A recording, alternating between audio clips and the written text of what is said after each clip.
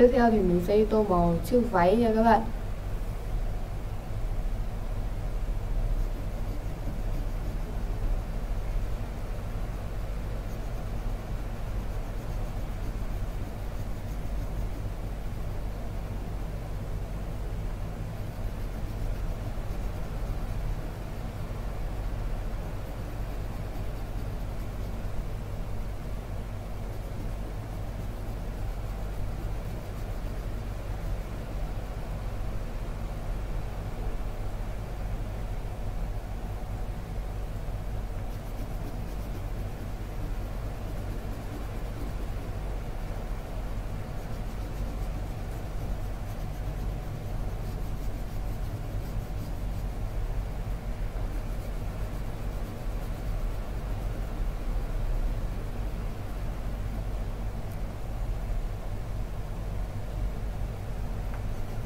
Thì mình sẽ tô màu.